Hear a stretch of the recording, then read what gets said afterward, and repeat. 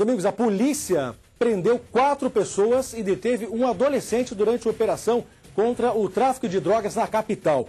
Um dos traficantes foi pego em um condomínio de classe média. Ao saber da proximidade da polícia, ele resolveu jogar as drogas pela janela. Só que ele não imaginava que logo abaixo estava um brigadiano ali de prontidão e de olho. Acompanhe a reportagem de Wilson Rosa. Mais de 100 policiais cercaram a Vila Cruzeiro, na Zona Sul, numa operação conjunta da Brigada Militar e Polícia Civil. 20 locais suspeitos foram vasculhados. Quatro pessoas acabaram presas e um menor apreendido.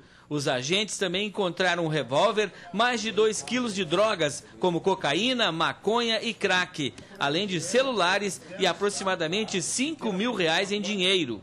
A maior parte dos entorpecentes foi encontrada neste condomínio de classe média que fica próximo à Vila Cruzeiro. Quando a polícia chegou no apartamento do traficante, as drogas foram jogadas pela janela. Este policial militar flagrou a ação. Enquanto eu tentava juntar, um dos objetos tinha caído, ela já estava jogando com mais objetos ali. Ela jogou a balança de precisão, nem, nem tinha visto que a guarnição estava embaixo.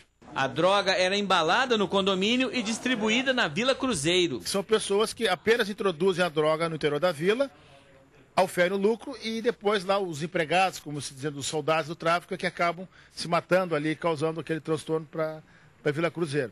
A operação aconteceu após os tiroteios na Vila Cruzeiro no mês passado, que fecharam os postos de saúde e escolas públicas, assustando a comunidade. A Brigada Militar garante que não existe toque de recolher nesta região. Não houve toque de recolher aqui na, na Cruzeiro, né? E a gente não precisa dar resposta de nada. A Brigada Militar e a Polícia Civil né, não precisa dar resposta de nada. Essa operação vai acontecer em conjunto, sempre independente de qualquer situação que possa acontecer no bairro de Santa Teresa.